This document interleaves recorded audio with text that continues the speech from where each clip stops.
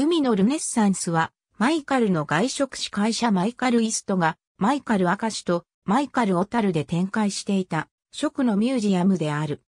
この記事では、マイカルイストについても述べる。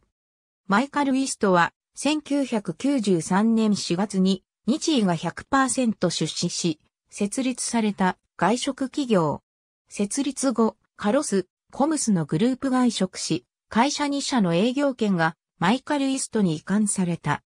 赤い風船、北の坂、サーカスサーカス、トラグラ、オランクや、ノトン、コロコロ亭、百人一首、湖幼樹、ヤジ北などの飲食店を主にマイカル店舗内に展開していた。このほか、フードテーマパークのようなアミューズメント型飲食店の開発にも積極的でマイカルタウンをはじめとした大型店にテーマレストラン、ギャオ、海のルネッサンス、水族館などを展開していた。2001年にマイカル本体破綻に連鎖する形で民事再生法を申請。イオン参加に入った後、2006年にイオンの外食士会社グルメドールと合併し、イオンイーハートになった。1993年マイカルイスト設立。1995年マイカルクアナ3番街にレストラン街、水族館開業。1997年マイカル明石2番街に飲食街会のルネッサンス開業。1999年マイカル小樽5番街に海鮮市場と飲食街会のルネッサンス開業。2001年マイカル小樽海鮮市場と飲食街会のルネッサンス閉鎖。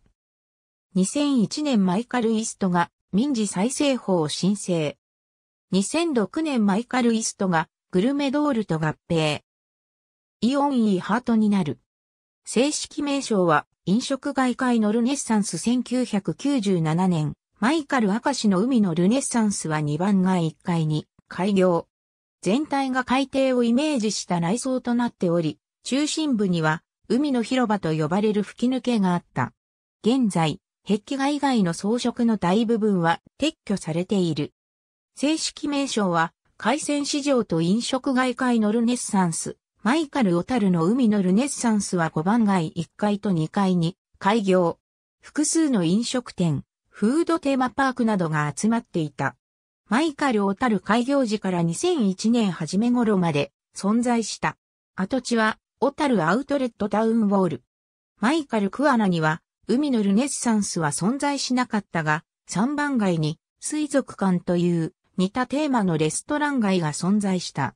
水族館は海底にいるような内装で、噴水や水槽などが設置されたフードテーマパークであった。市川大店サティには、グルメコートとテーマレストランギャオが存在していた。グルメコートは、音符や食べ物を擬人化した装飾が配され、マイカル・オタルのドレミファタウングルメコートの小規模版のようなものであった。ギャオはジャングルをテーマにしたレストランであり、マイカル・ウィストのフードテーマパーク路線の代表格である。ありがとうございます。